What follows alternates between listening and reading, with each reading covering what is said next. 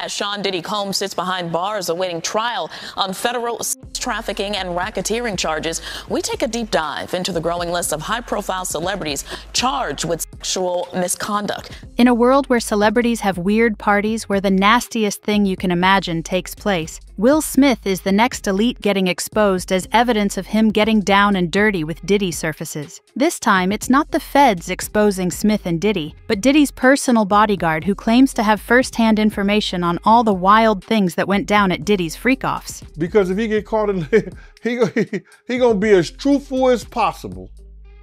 You understand? He's gonna give them enough information, whereas that it's gonna make him look like the choir boy. Since Diddy's freaky sex life got exposed online, there has been a lot of information flying around the internet making it hard to decipher what is fact and fiction. To make sure we don't get caught up in conspiracy theories and outright lies, it's good to have a credible source who witnessed everything. And this is where Diddy's former bodyguard, Gene Deal, comes in. When he lived in Cali and Miami, he turned into Godzilla. I would see him talk about how he using drugs. He was never like that. Smoking cigarettes, smoking and everything like that, he turned into something that you could consider a monster, bruh. Then he started doing things to people, you understand, that he learned.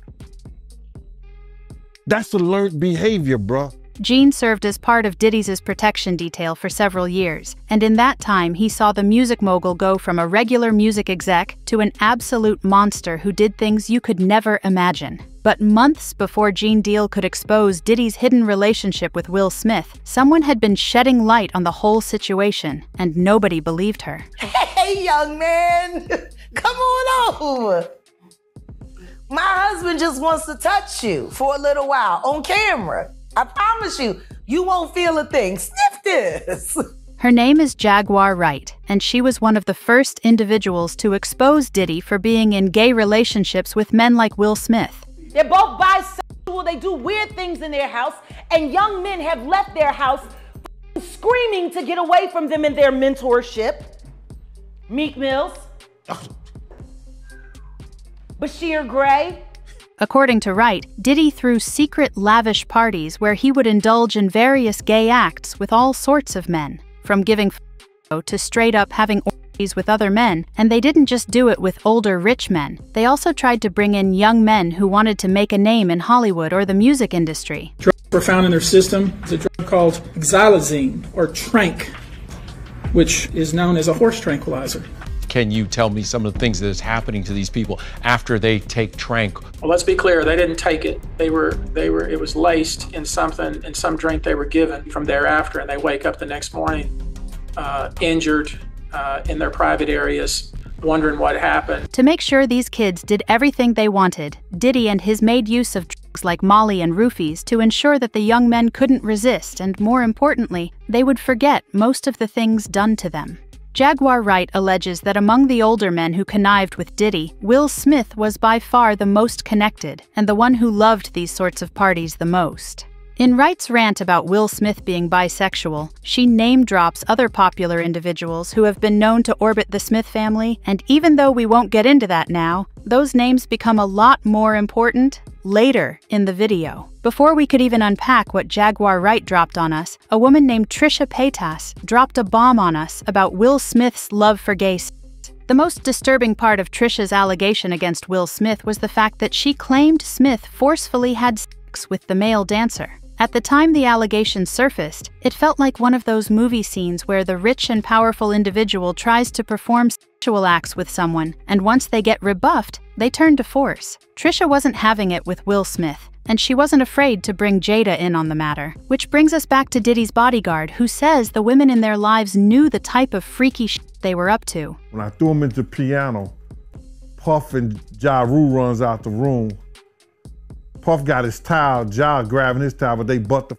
naked. We don't need to tell anyone how outrageous that sounds, because not only did Gene Deal talk about Jada's involvement in their freak offs, but he also spoke about Jada trying to recruit other women for their parties. And in this case, the woman is Jennifer Lopez. Only someone who is knee deep in the operation would have the balls to recruit someone like Jennifer Lopez due to how much influence she holds. And in the off chance that Gene Deal is making up the allegation about Will Smith's love for gay parties, someone from Smith's camp threw him under the bus just last year. The reason Will responded, the reason why Jada responded, because they know it's true.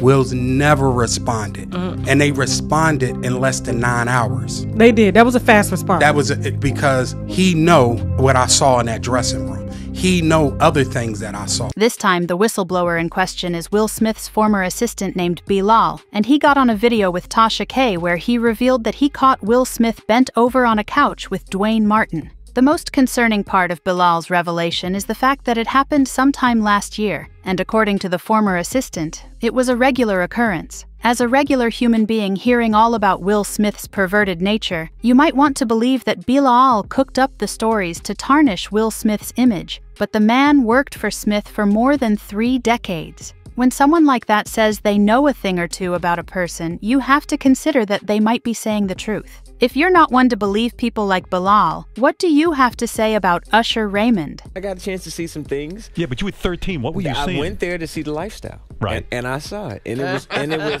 but I don't know if I could indulge and understand what I was even looking at. It was, it was pretty wild. Usher is a superstar who came up under Diddy, and his words carry more weight because he had to spend a lot of time with Diddy while growing up. This is what Gene Deal had to say about Diddy sending Usher to the hospital years back. It was one of those type of situations.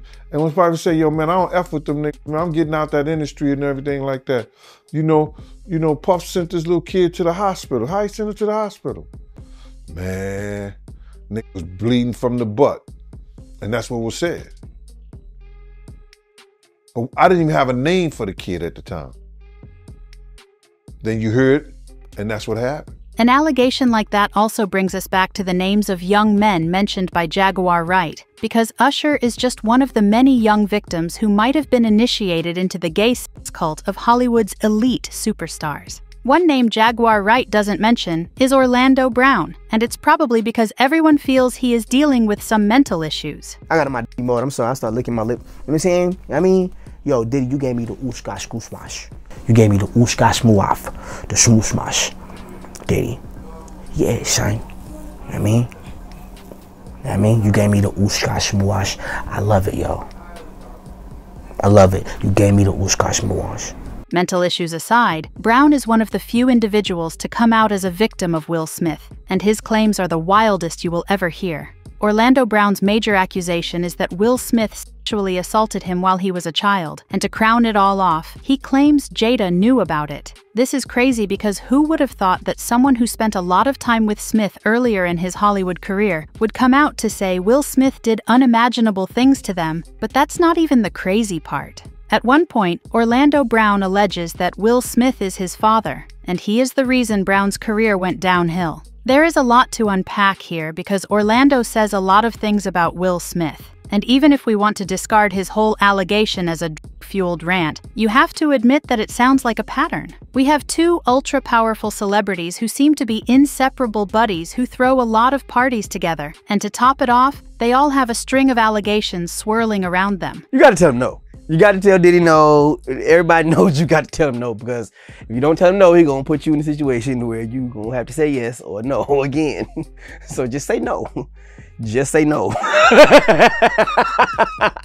just, just say no. That adds up to Diddy and Will Smith doing a lot of unhinged things with male prostitutes and a lot of baby oils. If they were strictly gay, we could imagine them doing their thing while other guests indulged in sexual acts for their pleasure. Or if they were bi, it could be one giant with a lot of powerful individuals joining in on the fun.